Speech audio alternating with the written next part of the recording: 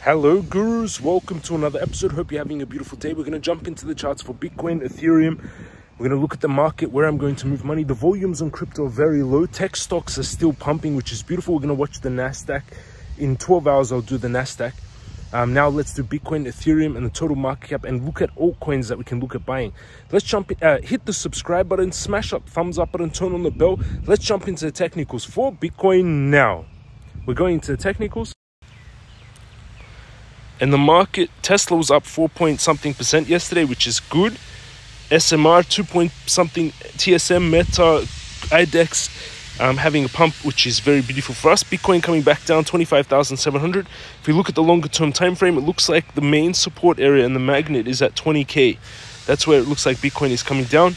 You've been following my trades and my setups that I expect to go very big long on 20k and expecting it to short down here. We're on the trend line, we're still stable coining, but I would still take this trade setup on Bitcoin. Going long from 25,272, stop loss 25,178, take profit 28,000. Risk to reward 31 times, risking $88 to make 2,700 with no leverage, 10x leverage, 27,100x leverage, $270,000. Then flipping short from 28k, coming down to 20k, and then 20k bouncing, buying. So these are my three trade setups on Bitcoin. On Ethereum, my trade setup is to short Ethereum from here from 1658, stop loss 1666, take profit 1400, and then go long from that trend line. So it does look like crypto can have a bit of a drop um, in the upcoming days, which is not so beautiful in this uh, if you want to trade bitcoin and crypto like you're seeing me do under the video one two three one course learn how to what i'm doing jamescryptoguru.com take the crypto master course stock guru master course learn what i'm doing. Two trading on bybit using this link $30000 bonus. Three join us on the telegram. And you can see just some gains from so this is my gain one day one day my gain. Um, one day some students gains. Some student gains. Some student gains. And you can do this in the telegram. You can join them in telegram as well. Um, so in my account now, I have 300 and 300,475. It's down about 1.3k. USDT, I have 133. Doge, I have 27k.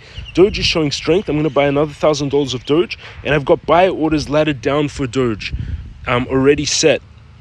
Doge MCRT 22,000. Bitcoin 21,000 and I've got buy orders laddered down but we are at 25k right now Bitcoin 25,700 I expect it can come down to 20 but it's still in my opinion very cheap for Bitcoin. I'm buying another thousand dollars of Bitcoin.